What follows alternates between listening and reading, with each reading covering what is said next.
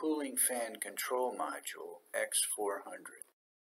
The X400 was used in Jaguar X-Type 2001 to 2004. This is the Jaguar X-Type. This module causes uh, failure of proper fan operation and directly or indirectly causes check engine codes, which, when it comes to inspection, can get your car failed. I bet you that a lot of cars go to the junkyard just because this module fails to work properly. The first thing you do is remove the module and all the wires completely from the vehicle. You're going to fix it by going in through the back. The back has a seal on it which, which must be cut. These are the steps involved in repairing your control module. The first thing you do is take it out of the car completely. You can't do it mounted in the car. The next thing you do is open the back, which you do by cutting the seal on the back with an X-Acto knife. The next thing you do is drill a hole in the back simply through the back plate apply air pressure and that will burst it open enough so you can get a putty knife in the back and pry the back plate completely away from the module. The next thing you do is remove the heat sink, which is partially holding the circuit board down, and obtain new capacitors and transistors, replace the components, and then reassemble and test it. This is the cut line. Notice that it's on the edge so that you don't hit the circuit board underneath. This is the cut line once again. Notice that it's on the edge so that it doesn't cut into your circuit board and be careful not to cut your wires.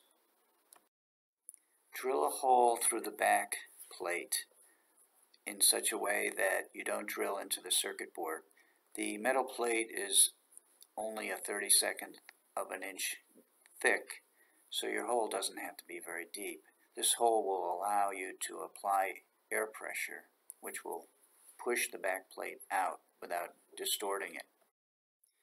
This is a good place to drill a hole because you won't be drilling into the circuit board. Once the back plate is burst loose, you need to use a putty knife um, to pry it apart. It'll come apart, but it has to be worked gently. Uh, the back plate is fairly stiff, but be careful that you don't bend it up or distort it. Pry on the end where the heatsink is inside the unit because there's nothing there to hurt. On the other end, there are small components that if you stick your putty knife in there, you could bend them or damage them. Pry on this end.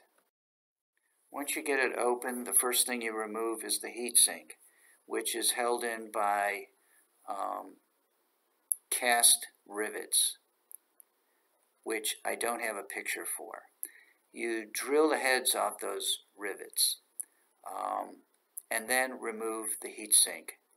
Otherwise, you can't get it out without damaging the unit. Unfortunately, I didn't get a picture of the heatsink before drilling the riveted uh, original riveting out. Uh, but this is how it'll look when you're finished, and it does take a little work to drill and tap those holes out and screw new screws in. That comes later. Once you have the module open, the back removed,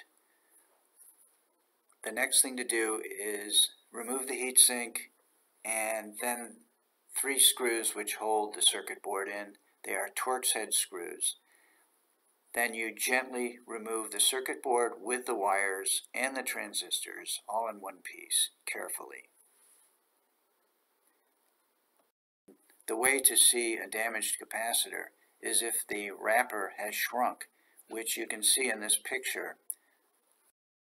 There are seven electrolytic capacitors on this board. I replaced all of them, regardless of condition because I did not want to revisit this board once remounted in the car and they are not that expensive. Here's another example. The picture isn't the best, but the wrapper on this capacitor is very much shrunk. There are a couple of them here that look good, but I went ahead and changed everything, all capacitors, all seven of them, just to make sure. The first thing to replacing these capacitors and transistors is getting the old ones out. This is probably not a job where you want to learn how to solder. You have to be careful not to damage tiny components on the board. Some of them are only maybe a less than a sixteenth of an inch wide.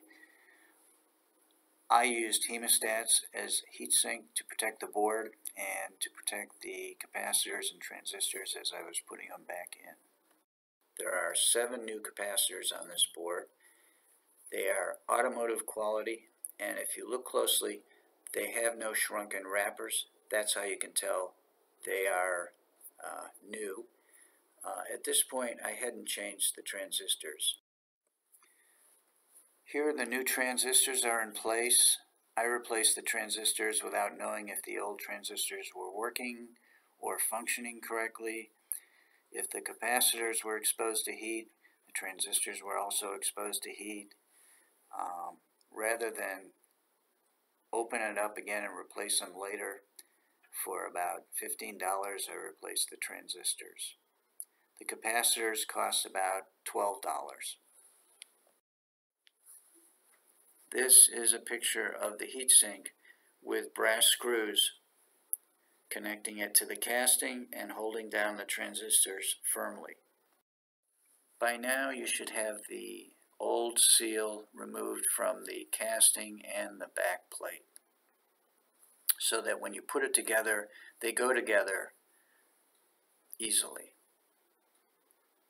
The first thing you do is you put the circuit board back in, screw the three screws back in place, and then screw your heatsink down on the transistors. Next, the back plate will go in place and stay in place simply by pressing it in with your fingers. Next, return it to the vehicle and run the vehicle. If you see that the fans are working differently, then chances are you've fixed your problem. If they are not, then you've either done something wrong or it wasn't your problem in the first place. You should notice a difference in the way the fans run immediately. Turn your air conditioning on low. These cars have a CPU, a central processing unit, which has several serial emulations. One emulation is dependent upon another and another and so on. These cars make adjustments as the car ages to keep the car running the same as components age. And as they make adjustments uh, one way, they also make adjustments back, making half-step adjustments as they go. So it takes some running before the car returns completely to normal. My car returned to normal in about 50 miles, and it runs great.